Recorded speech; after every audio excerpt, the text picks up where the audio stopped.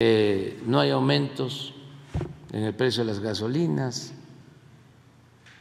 de la luz, no han habido aumentos de impuestos. Y algo que es muy importante, si se fortalece el mercado interno y alguien se dedica al comercio, se beneficia, porque eh, hay poder adquisitivo, la gente tiene recursos para comprar lo básico.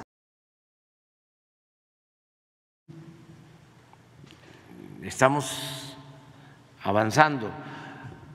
Lo social está bien, ya está terminándose de consolidar todos los programas de bienestar están eh, funcionando muy bien.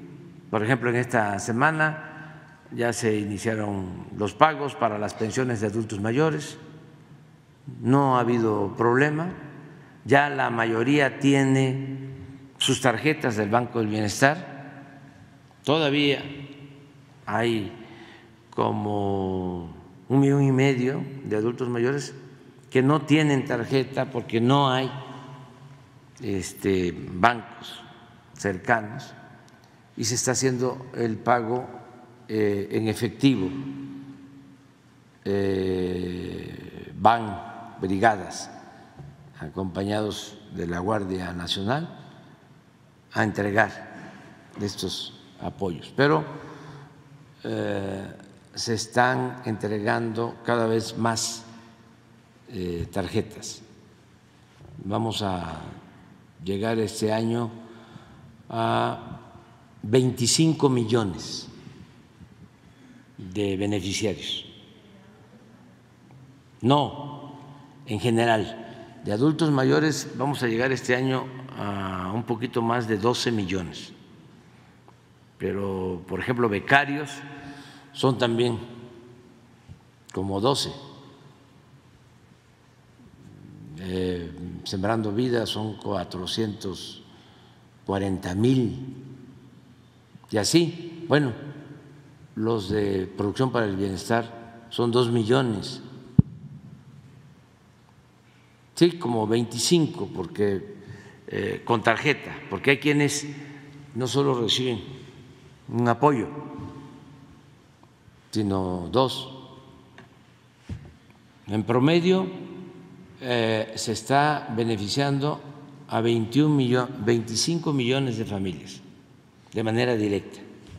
Y yo estimo 5 millones más que reciben cuando menos una pequeña porción del presupuesto, porque son servidores públicos, ya sean maestros, médicos, enfermeras, eh, elementos de la Guardia Nacional, soldados, marinos, policías, servidores públicos. Entonces, el presupuesto le llega a 30 millones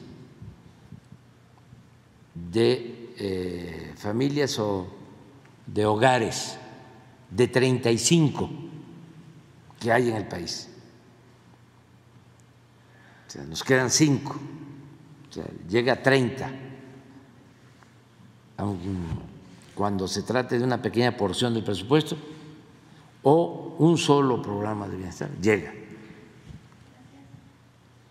Y esos cinco, que por lo general, no en todos los casos, coincide que es gente con más ingresos, este, tienen también pues atención especial porque eh, no hay aumentos en el precio de las gasolinas,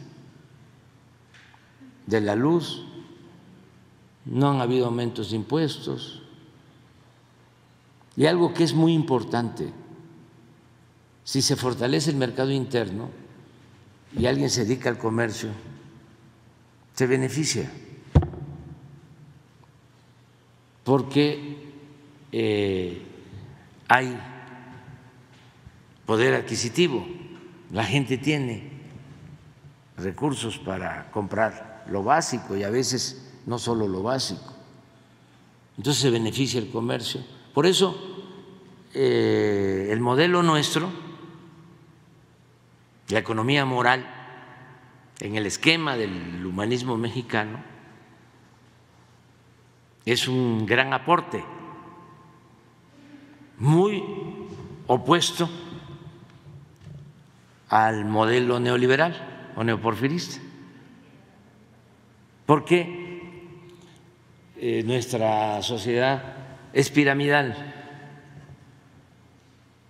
En la base hay millones de pobres, una clase media reducida y arriba una minoría.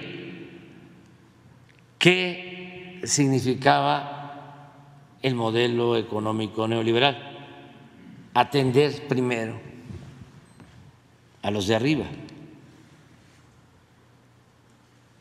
El gobierno estaba al servicio de esa minoría y empezaron con la patraña, con el engaño, además los supuestos teóricos de la economía empezaron a sostener que si le iba bien al de arriba, le tenía que ir bien al de abajo, que si llovía fuerte, goteaba abajo. Por eso fue lo del FOBAPROA. En ese pensamiento conservador, que realmente era una justificación para saquear para robar, para atender a los potentados.